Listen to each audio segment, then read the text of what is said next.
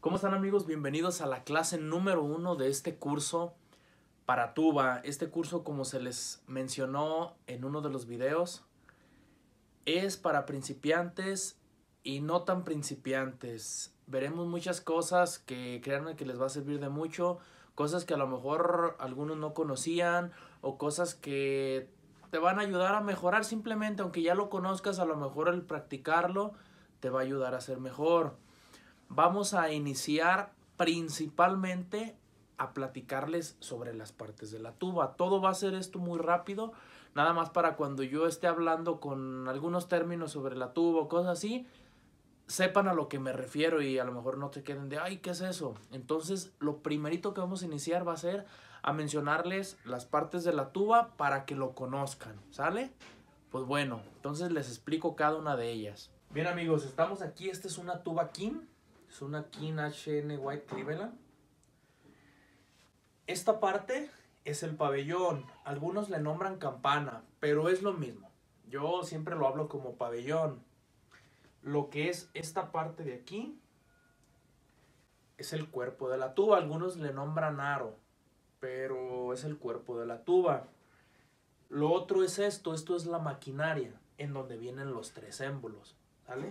Maquinaria, cuerpo, pabellón y esto de aquí, esto es el tudel junto con sus dos coditos.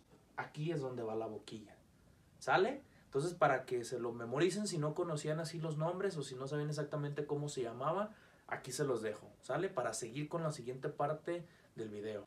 Otro punto que hablaremos es sobre el cuidado de la tuba. Tenemos algunos videos, le dejaré por aquí la tarjeta de cómo lavarla. ¿Sale? Que también eso es muy importante. El cuidado de los émbolos. Esto, este es un émbolo de una kin. Estos nunca se lijan. No se rayan, no se tallan. Esto, tener mucho cuidado. Esto es el motor de un instrumento. Entonces, esto es lo que hace que un tallón lo desgastas, va a fugar, tu instrumento está sordo. Y este nuevo no se haya de costar algunos 3.000, 3.500 pesos. Uno nuevo. Y es muy difícil conseguirlos en México. Muchas veces te lo venden como nuevo y en realidad como nuevo original y en realidad son nuevos pero hechos en México y no es lo mismo. No va a quedar al 100% jamás, ¿eh? Entonces, para que tengan cuidado de esto.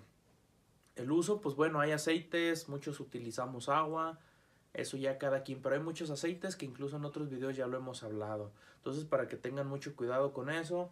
El limpiar su tuba, pues también es muy importante. Esta tuba es níquel, entonces simplemente con un trapo húmedo, un trapo seco, se limpia sin ningún problema. Hay tubas plateadas que esas sí tienen un poquito más de cuidado.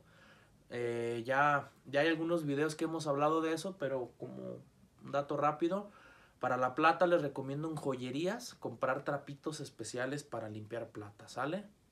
Sobre la posición, es muy importante la marca que sea la tuba. Lo que tiene la King que la King siempre queda el pabellón así, así de frente.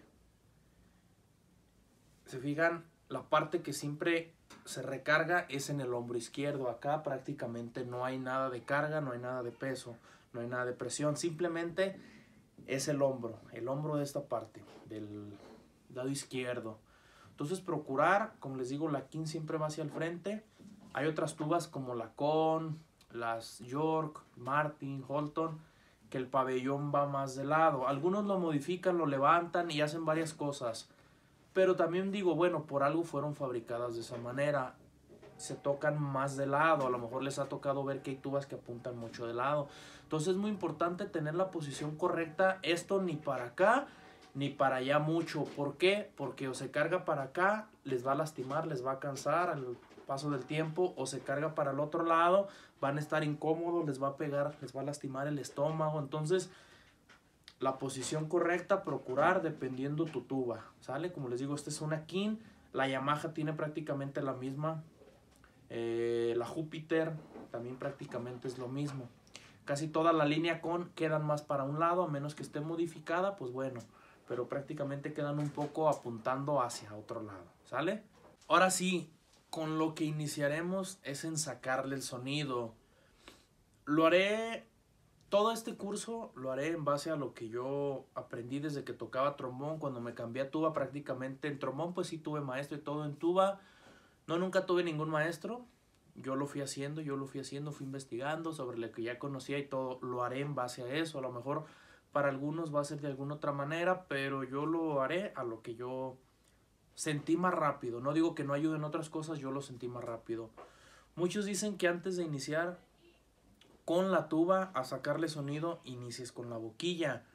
Yo lo inicié cuando tocaba trombón, pero ya cuando se la ponía a la, al trombón la boquilla, como que no sentía, o sea, como que no veía mucho el estudiar la pura boquilla cuando fui iniciando. Entonces, sí, lo que hace es sacarle el sonido. Yo lo veía un poco más forzado, como que no le sentía tanto. Entonces, yo lo que le recomiendo es iniciar con la tuba, con el instrumento ya a sacarle el sonido. Tratar de sacar esta nota que va a ser un sol. Van a tratar de con esa estarle sacando el sonido. A lo mejor se les va a mover, pero traten de que sea, si se puede, pónganse audífonos, no sé, para que sea esa, alguna de esas notas, que sería un sol y un do.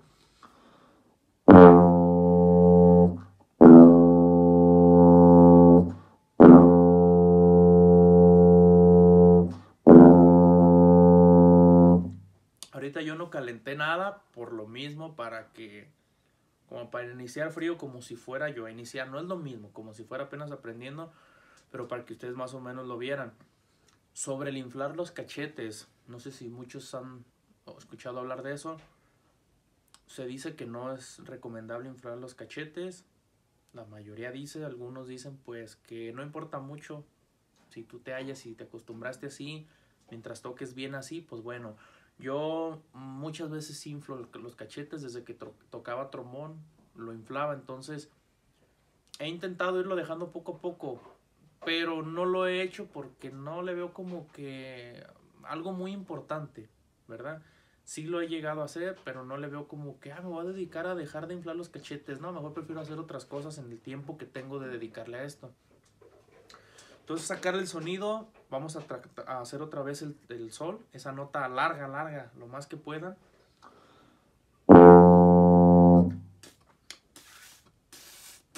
Es como hacer esto.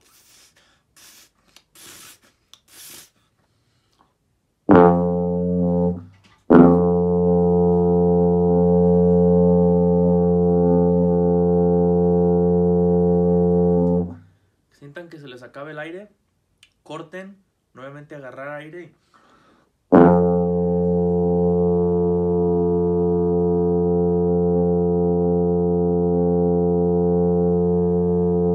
Lo pueden hacer también con un do, sería el do que sigue hacia arriba.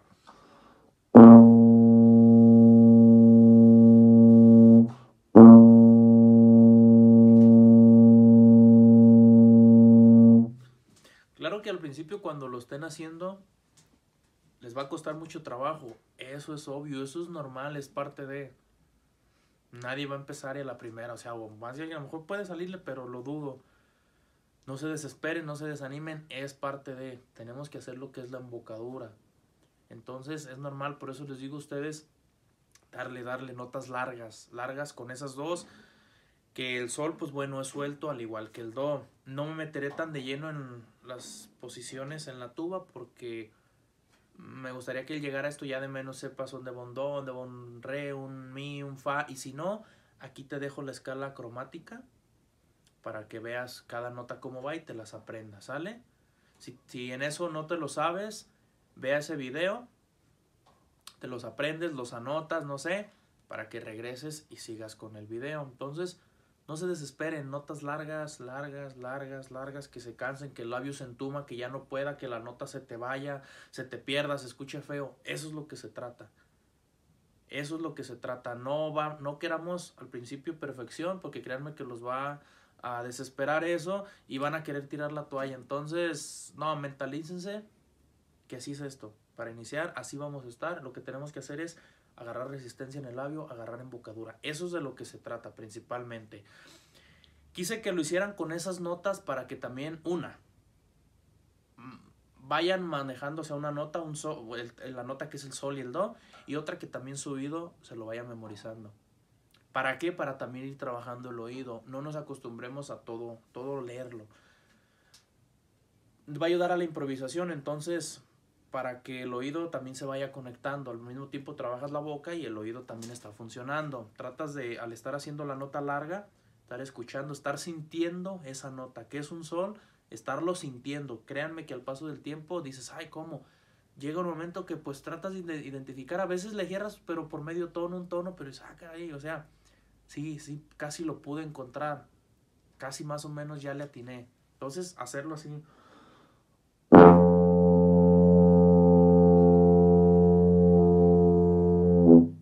Si pueden poquito y la nota se les va, se les pierde, corten, agarren aire y vuélvanlo a hacer. Poco a poco ustedes verán que lo harán largo, que, ya después lo van a hacer así como lo estoy haciendo yo ahorita.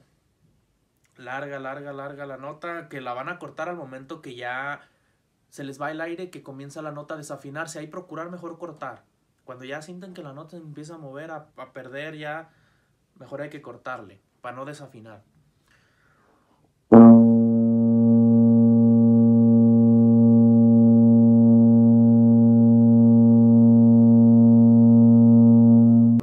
Este video trabajaremos lo que es la escala de Do. Como les comenté, está el video de la escala cromática pero vamos a practicar aquí lo que es la escala de Do, que va a ser un Do, Re, Mi, Fa, Sol, La, Si natural y Do nuevamente. Lo vamos a trabajar nada más ahorita esta escala porque al principio trabajaremos mucho sobre ella y trabajaremos sobre la escala de Do. Entonces, se las dejaré ahorita, yo la tocaré para que ustedes también la vayan practicando.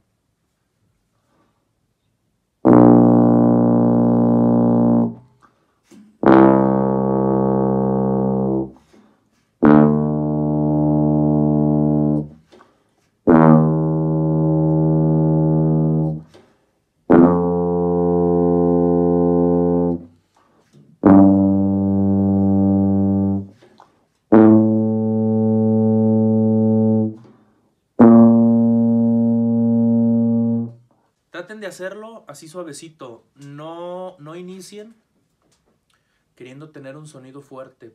Porque les va a salir al revés.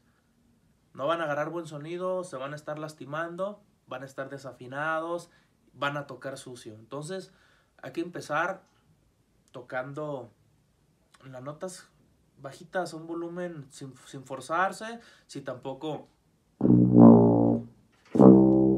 tampoco así suavecito, no, un volumen normal. Que no te sientas como forzado, pues. ¿Sale? Entonces, eso es importante, les va a ayudar mucho. Van a ver que, que al paso de este curso va a haber muchos ejercicios que lo va a requerir así. Entonces, si te acostumbras a tocar bajito, te va a perjudicar. Si te acostumbras a querer dar todo bien fuerte, en los ejercicios ahí te voy a ver donde ya no puedas dar o estés queriendo agarrar aire cada rato. Entonces, también vamos a trabajarlo así para trabajar las respiraciones, que también es algo muy importante. ¿Sale? Entonces, por esa escala pueden practicarla, si ya se saben las pisadas, si ya agarraron un poco de embocadura ya con las notas que vimos al principio, las notas largas del sol, la nota larga del do, se vienen esta parte con sus audífonos y lo van siguiendo. Van, están viendo el video y lo van siguiendo ustedes tocando do, así como lo hice yo. Lo terminas, regresa al video y vuelve a hacerlo. ¿Sale? Te, te, digo, regresa al video y vuelve a hacerlo para que lo hagas unas 4, 5, 10, 15, 20 veces las que tú quieras. Lo estés practicando mientras ves el video, pero ya te lo memorizaste. Así cuando estés ensayando tú solo, ya lo puedas tú estar haciendo. ¿Sale? Entonces es muy importante que lo hagan así. ¿Tienes alguna duda? Regrésate, regrésate a ver el video. Es muy importante. Si alguien se está brincando cada paso, como ahorita ya vimos varios puntos, no hay ningún problema. A, a tu consideración, a tu gusto, a tu idea. Pero sí, no te garantizo que te vaya a servir del todo este curso. ¿Quieres que te funcione bien? Hay que hacer las cosas bien, paso a paso. Y créanme que rápido, rápido, rápido van a poder estar ya tocando. Rápido vamos a llegar a estar tocando canciones, rápido vamos a aprender muchas cosas nuevas. Bueno amigos, si tienen alguna duda, déjenos un comentario, también para tomarlo en cuenta o para en el siguiente video estarlo aclarando. Si vemos que hay ciertas dudas, lo vamos a estar aclarando. Y si no, hacemos algún video donde aclaremos todas las dudas que tengan. También nos gustaría que si se puede, eh, las personas que estén viendo nuestro curso nos vayan dejando un comentario. Se pretende hacer este curso pero probablemente nos van a pedir, oye, yo quisiera aprender esto, yo quisiera esto, esto, esto, esto, a lo mejor ya muy extra sobre este curso, sobre toda la base para aprender. Toda la idea de este curso es enseñarte a tocar, enseñarte a que llegues tú y sin problemas poco a poco, pero traigas los conocimientos, traigas ya embocadura, un poco de ejercicio, formas de tocar, o sea, que estés completo en esa parte y poco a poco el estar tocando la experiencia te va a ayudar mucho porque vas a tener una buena base. No vamos a estar a músicos cuachalotes sucios, al y se va. Entonces lo haremos de esa parte. Déjenos un comentario todos los que estén viendo nuestro curso. Como gusten, gracias amigo, no me pierdo tu curso. Este me está sirviendo, traigo estas dudas. ¿Por qué? Porque si se hace al terminar este curso algo así, pretendemos hacer algo pero ya más privado. Más privado a lo mejor 10, 15, 20 personas, que hagamos transmisiones en vivo o hacer un video, mandárselo yo en algún grupo, que sea algo nada más para esas personas. Claro, probablemente en ese caso ya tendría un costo porque ya sería como más, ya tocaríamos temas como un poco más personales. Pero lo que quiero hacer que personas que estén en este curso, que lo estén viendo, que nos apoyen con su comentario, dejándonos un like, que estén suscritos a nuestro canal, obvio que activen la campanita. Haremos un sorteo para ciertas personas, regalarles eso. Que ellos no tengan ninguna cuota, ¿sale? Entonces, sin más, nos vemos en el siguiente video y échenle muchas ganas.